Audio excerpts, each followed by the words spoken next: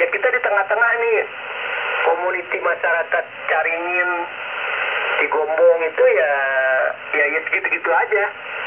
Jadi itu kaki Gunung Salak dan kaki Gunung Pangrango itu nanti ada ada kereta. Ada kereta ada oh, apa namanya ada ada jalan juga flyover begitu. Coba bayangkan. Jadi dari nanti masuk dari kota Bogor itu ada ada ada